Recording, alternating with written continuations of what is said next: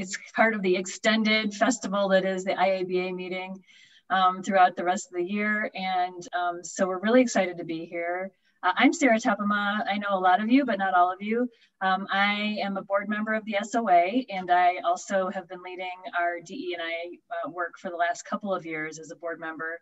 Um, and we'll be passing a lot of that on to uh, Jenny Haid and others who are chairing various committees. So appreciate everybody's support there. Um, and just want to make sure everyone's aware that the session is being recorded. I think Beth just started the recording, but we're going to turn off the recording later in case there are uh, questions that people would rather not have um, on record. And so um, we, we will do that probably towards the end of this session. Um, I would encourage you as you have questions to put them in the chat box while we're talking, um, and then we'll open it up for a more interactive discussion later. What we have planned is just a, maybe 20 minutes or so of um, 20 minutes or so of like pre-planned discussion, and then um, we will move into Q&A and um, in an open forum. And then I guess the the other thing I would say is um, just you know think of questions and have those ready for us. Uh, we have with us today um, from the SOA. We have all of our presidential officers. We have uh, Roy Goldman, who's our current president. We have Andy Rallis, who's our past president, and Jennifer Gillespie, who's our president-elect. And um, I would I want to also say that we're joined by a couple of uh, amazing SOA staff members who are really involved in DE&I. Um, Solskin is our new, um, brand new, hit the ground running um, leader of DE&I activities for the SOA. We're so excited to have you, Solskin. Um, and then I also want to make sure I mention uh, Beth Gall, who a lot of you know, and um, Courtney Nashin, who's also been very involved in DE&I activities. So um, they're all waving.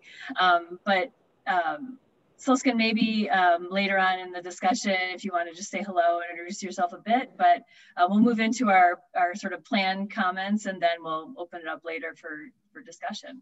Um, so I just wanted to um, say thank you to Kate and the IABA for hosting this and, have, and having us here. Um, we are very committed to supporting the IABA uh, and we want to continue to do so. Um, we're excited to see so many of you here today on this call. And um, I know that uh, Roy, Andy, and Jennifer also share that sentiment, but I guess I'll throw it over to the three of you just to say hello and um, and if you have any early comments in this discussion.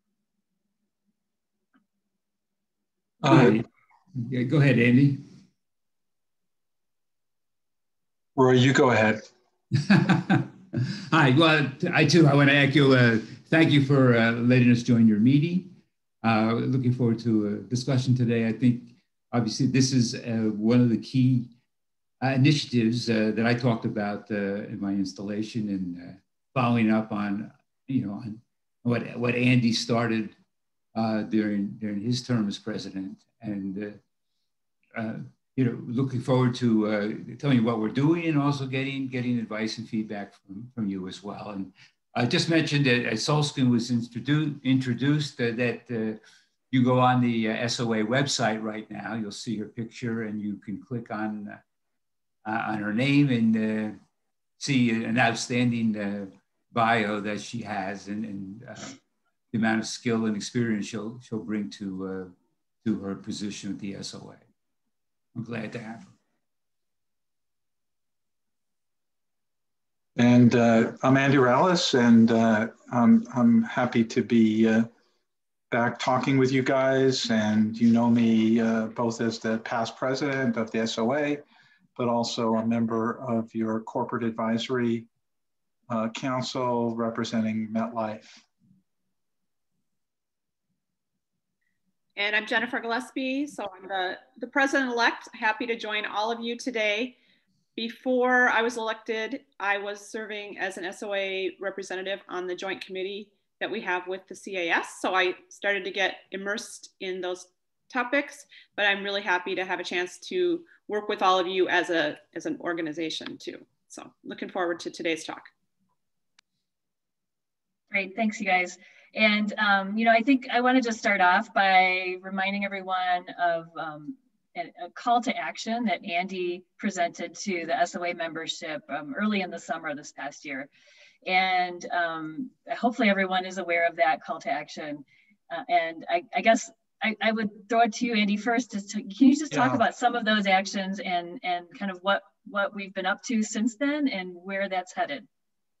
You know, I just, and I just want to sort of, uh, you know, frame it up because the call to action, you could, you could see that the time was right for that. There were, there were uh, societal elements, many organizations coming to, to grips with this.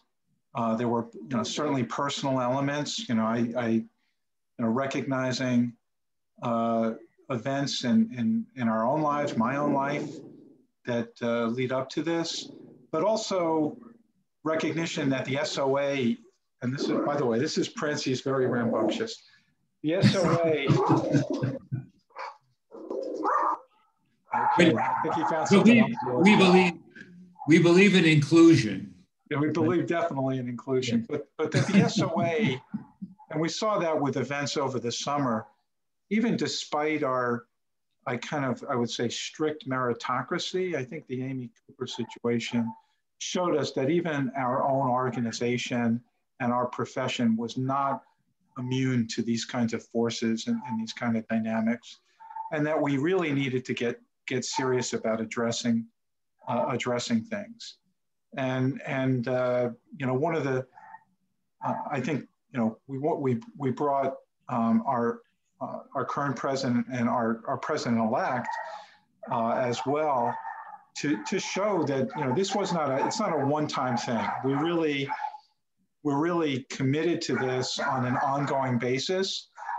And so it wasn't just a point in time thing. It was, know, if there, if there was a point in time, the point in time was just the beginning, not, not the end of it. And, uh, you know, despite me transitioning into past president, uh, that there are uh, committed leaders who, who will, including myself during this year of past presidency, who will uh, take our initiatives uh, in the call to action forward.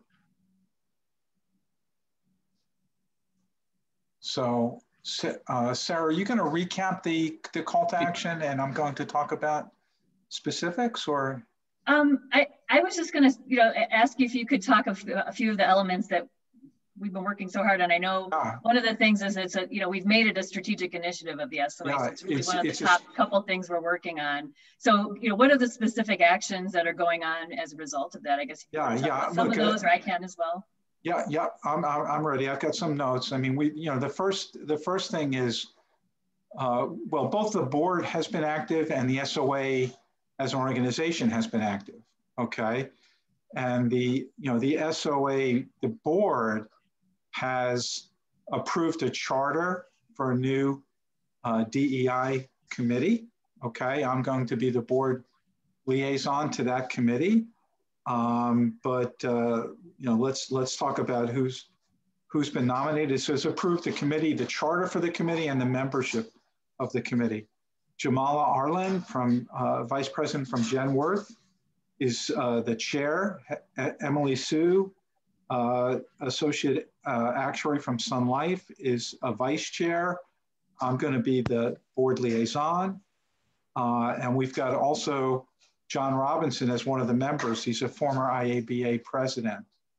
Um, and so we've got uh, we've got good a good committee, and they'll be more or less charged with overseeing all of our DEI initiatives, uh, and including interfacing with your organization, including interfacing with uh, our joint committee with the with the the, uh, the CAS and other I would say industry events. Um, we've approved our 2021 budget, which includes uh, increased support, financial support for uh, our partner organizations, including yourself, uh, but also the Organization of Latino Actuaries and the Actuarial Foundation, who work in, in this, the DEI space as well. Uh, so that that's already been approved, the increased funding for those. Um, I, I want to refresh, you know, we, we did we did appoint a special task force on personal conduct. That was came out of the, the Amy Cooper situation. Uh, you know, we can talk about that a little bit more, but that that that task force continues to work. We've we've uh, remanded the specific situation to the ABCD uh, for consideration of discipline, but I think it you know some of the issues that grew out of that uh, require us to to think further. You know, I, uh, you know that was a very high profile situation. It, it even resulted in criminal charges. Um, not all situations are going to be like that. And how do we want to function as an organization uh, when it comes to, you know, uh, uh, I, I, would say personal conduct. You know, I, you know, I think of that as, as uh, you know, just the way I frame it. You know, many of us went to colleges. There's usually typically an honor code about how we're going to conduct ourselves. It doesn't, it doesn't spill over into our you know, professional life, which is more, you know, you know, much more serious matters, you know, where you get into issues uh, that, uh, you know, affect financial statements and all of that kind of stuff. This is really, you know, how, how are we to be, you know, civil with each other? Um, and do we, you know, do we need to establish some, some, you know, rules like that, rules of engagement like that, and, and uh, enforce them? Um, and you know, I would say, you know, like I said at the beginning, I think that that call to action is really just a start. It is obvious that there's a lot of work to be done.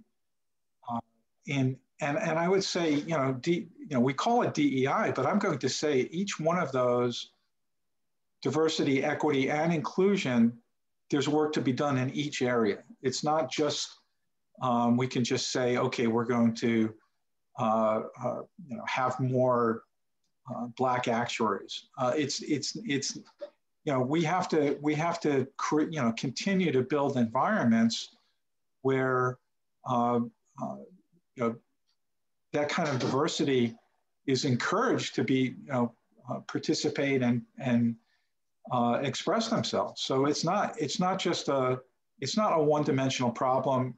I think this is the beginning uh, rather, you know, than you know just uh, it, you know a, a start, you know, a, a point in time where we just said, okay, we're going to focus on this. I think this is going to be a real focus. In fact, in fact, uh, yeah, thanks, Andy. I would I would say that so I, I've appointed uh, nine individuals so far to the uh, SOA's uh, diversity committee, and and they are a, a, a diverse group of individuals that that follows along with the you know the SOA's uh, diversity and, and, inclusion statement. You know, you know, we we believe the SOA best fulfills its mission when it's diverse and inclusive of all individuals. You know, openness, acceptance of diverse perspectives, cultures, and backgrounds helps us attract the best talent and ensures ensures include not just inclusivity of the profession, but I think we can do a better job for all of our stakeholders, our, our employers and clients. And to, to emphasize what, what Andy was saying about uh, we're open to all kinds of diversity, the uh, state, our, our statement goes on to say the SOA welcomes the membership and participation of all individuals, regardless of race, ethnicity, religion, age, gender, sexual orientation, gender identity or expression, disability, or national origin. Uh, so that, uh, that's, I guess it's good. It's a long list. Maybe it's unfortunate that it has to be such a long list uh, when if we would just treat everybody uh, the, the way we want to be treated, uh, would, would probably go a long way. And, and we'll talk about, as, as we go through, I think, the session today, other, other pieces of the initiatives that, uh, that we are working on uh, that came out of uh, Andy's original uh, you know, 10 point list. Yep. So Sarah, maybe uh, turn it back to you for. yeah, great. So, um, you know, I, am glad you brought all that up. And I think um, well, one of the things I wanted to make sure I mentioned too is, is I think a lot of you are recently involved with this as well, is in, um, the, the US qualification standards were recently under exposure draft. And so I wanted to make sure everyone realized that there was a, quite a movement to add DE&I topics as specifically calling them out as professionalism. Um, so, you know, individual members have the opportunity to uh, submit their comments to that exposure and um, uh, lots and lots of people, and I think many of you hopefully did, said, you know, we, we think that DE&I topics need to be part of professionalism. And to me, that's, it's symbolic in some ways, but it's also really great because it will encourage people to, to get the kind of training um, and, and, you know, we, have offered those kinds of sessions at meetings, but they don't always, aren't always well attended because they only count towards business credit, business topics credit. But if they count towards professionalism, we should see a pretty big uptake. So if if the uh, qualification standards committee decides to do that, um, you know, there could be a really strong demand for um, these kinds of topics. So I'm, I'm hoping that that is that is helpful, and um, we'll see a, an interesting movement there.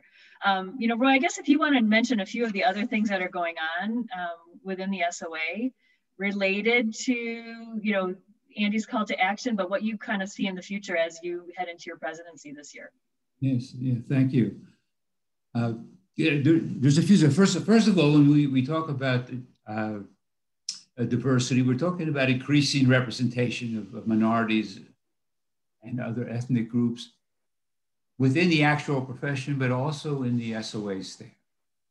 And you, you have uh, already been introduced to uh, Solskin Gomez Crow, uh, who is uh, hired as a new diversity, equity, and inclusion uh, leader, and she will uh, she'll be working with you know both the SOA committee and and uh, and also the, the joint committee, uh, and she'll be supporting strategy and work with with organizations such as your organization, the IABA, uh, OLA, and the Sexual and Gender Alliance for Actuaries, called SAGAA as well as the Actuarial Foundation, which you know has a lot of uh, contacts in high schools and middle schools. You know, and one of the things that we learned with the joint research that we did uh, with uh, the IABA and also the CAS uh, was uh, reported on at, uh, at your 2018 meeting was the you know one great inhibitor to getting minor minorities uh, to uh, become actuaries is lack of awareness of the profession. And so that's, uh, Andy talked about some of the uh, additional budget that, uh, that we have approved. Um, a, a, good piece of that is to inc increase the awareness of the profession among high school students, uh, which is where the Actuarial Foundation can help us. And I'm hoping that you know, the, one of the things that the joint committee works on is uh, High School Actuarial Day. And uh, so I'm calling for in 2021, hopefully we can announce a national uh, high school actuarial day. If not one day uh, during the week where universities and actuaries around the country can, uh, can, can speak to high school students and, you know, tens of thousands at, at one time about, about our profession. Uh, we've also retained a, an outside uh, consulting firm called InQuest. Uh, they specialize in diversity, equity, and inclusion. And they're going to help develop, develop volunteer and staff training and, and conduct an assessment of our educational programs to ensure that they're free of unintended bias and uh, help us further refine our, our strategy. Uh, you know, We'll talk more about the professional development programs, uh, uh, both um, some, some, some webinars and, and also in our actual meetings. We'll continue to feature uh, information about diversity. We'll talk a little bit more of that, about that later. And as well as our research. Uh, we'll talk about the research that we're, that we're doing that's specifically related to, uh, to bias and and healthcare, for example. Cool.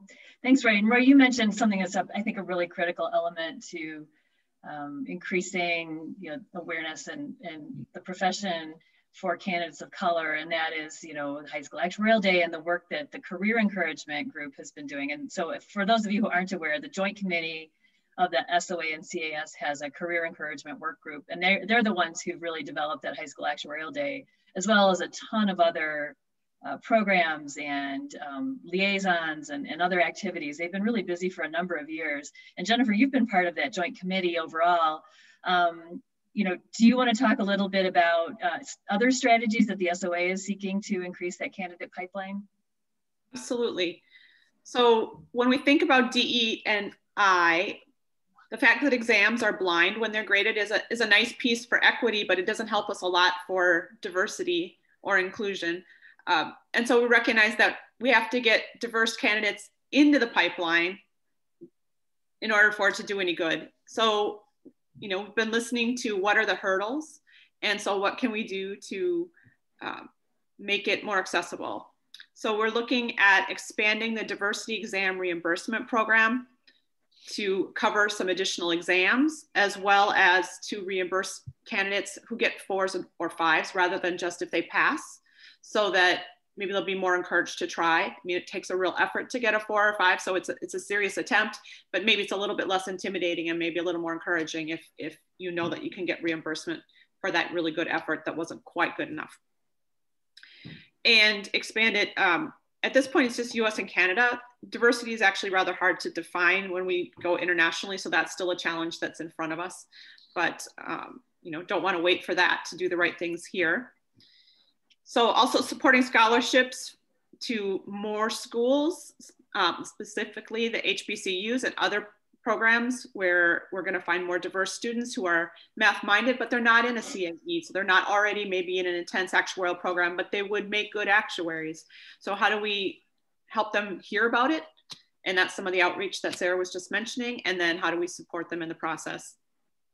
And also trying to make information about these things more readily accessible to people. So it's on our website under the future actuary section. So hopefully people can find it. I know personally, I had somebody um, who was a person of color who reached out to me about, you know, how do they make progress in the actuarial area? And I was able to point them to, you know, the foundation and um, the place on the SOA's website. And they, they actually got the support they needed. And that was a nice success story.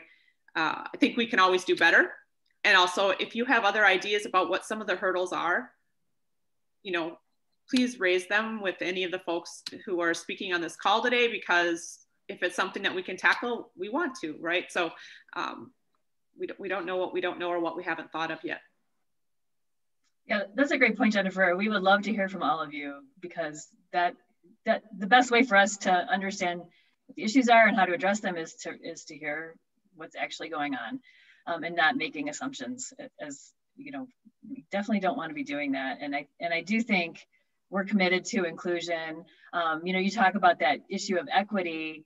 Um, you know we, we talk about this this meritocracy and i think it's a bit of a myth um, if we don't have we can't have meritocracy if we can't get equitable pipelines into the profession to begin with so uh, you know I hope that I hope that anything we can do to try to encourage either high school kids or even middle school kids, early college students um, into the profession. We want to hear ways we can get we can get more of them aware of the profession. So thanks for bringing that up.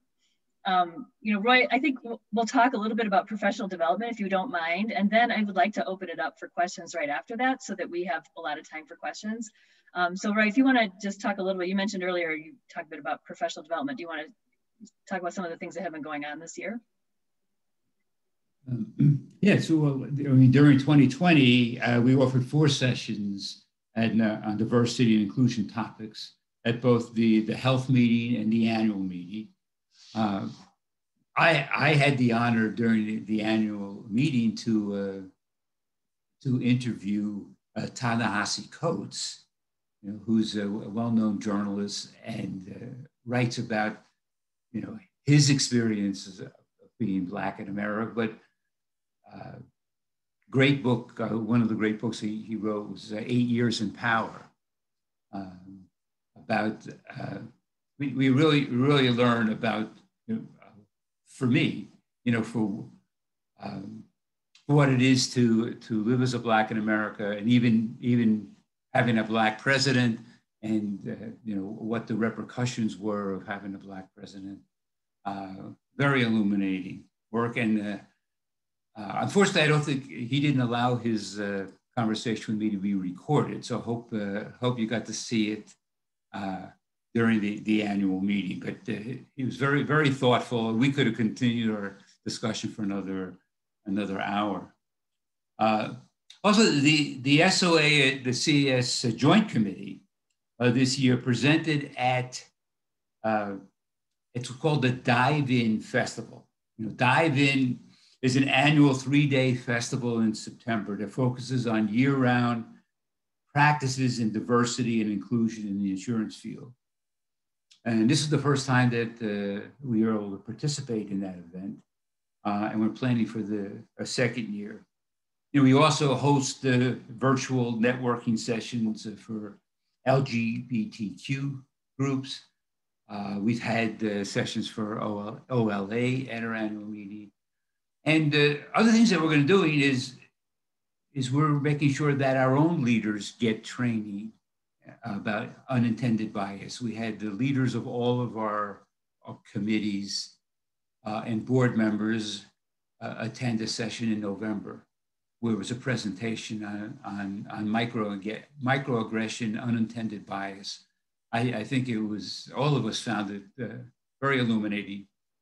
And uh, you know, it actually, it's one of the things that we even, um, as board members, we have we have training on board members, and after each board meeting, actually we have surveys to see whether or not we're we're following uh, what we said that we would do regarding uh, um, bias and also things like groupthink, you know, uh, and are, are we are we concentrating on strategy? So we, we're, con- we're constantly measuring ourselves. And I think one of the most important things that, uh, that we need to do this year, I think, is to come up with, with the proper metrics to measure you know, how well measuring progress. Obviously, if we, you know, if we set a goal that, let's say, the number of uh, Black fellows in the SOA should, should match the percentage in, uh, in society, uh, you know, we start now. You know, by the time we, re- we recruit high school, you know, high school students, they get through college, they get through our exams, you know, we're talking 15, 10 to 15 years.